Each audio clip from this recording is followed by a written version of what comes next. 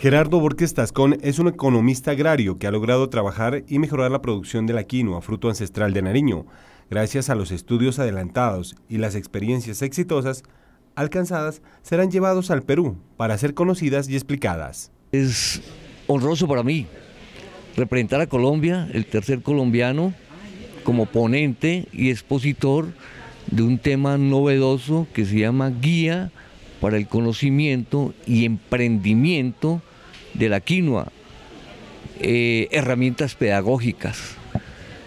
Con ese tema lo que hacemos es que el agricultor sea el protagonista de su propia historia, de su propio cultivo y de su propio emprendimiento o su visión empresarial.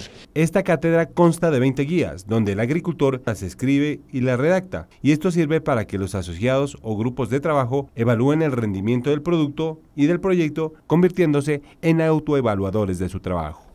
La quinoa, ancestralmente hemos perdido la herencia o la heredad de la quinoa tenemos que seguirla trabajando. No podemos mitificarla, envolverla un monocultivo. No podemos mitificarla al considerarla solo quinoa como NASA. La quinoa debe ser un producto nuestro para consumo nuestro. La quinoa es un producto que ya se cultiva en todos los pisos térmicos.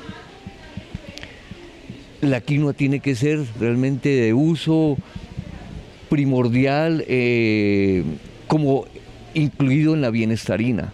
De Colombia, tres ponencias fueron aceptadas, una de la Universidad Nacional, Universidad Agraria y la de este nariñense, que persiste en regresar a la tierra los cultivos ancestrales.